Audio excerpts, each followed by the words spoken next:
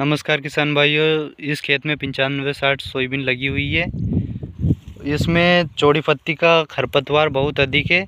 इसको दूधी के नाम से भी जाना जाता है, दूधी के नाम से।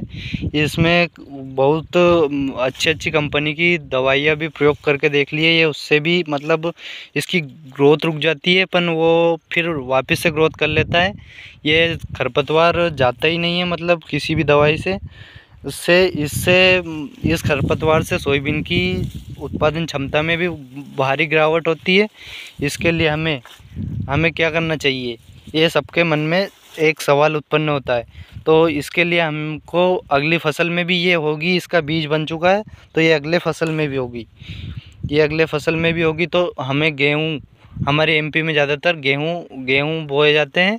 तो गेहूँ बोकर इसमें टू फोर डी नामक दवाई का प्रयोग करने से ये पूरी तरह से जल जाएगी और इसका बीज भी ख़त्म हो जाएगा।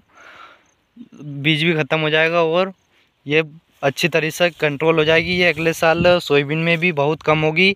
जिससे जो बहुत कम होगी तो आप निंदाई गुड़ाई में उसको थोड़ी बहुत उखाड़ देंगे तो इसका पूरी तरीक़े से बीज ख़त्म हो जाएगा और ये खेत में भी होगी नहीं और आपका सोयाबीन का उत्पादन भी अच्छा होगा और गेहूँ का भी अच्छा होगा साथ ही साथ। धन्यवाद किसान भाइयों, हमारी जानकारी अच्छी लगी हो तो वीडियो को लाइक करें कमेंट करें और चैनल को सब्सक्राइब करें और बेल आइकन को भी प्रेस कर दें। धन्यवाद किसान भाइयों।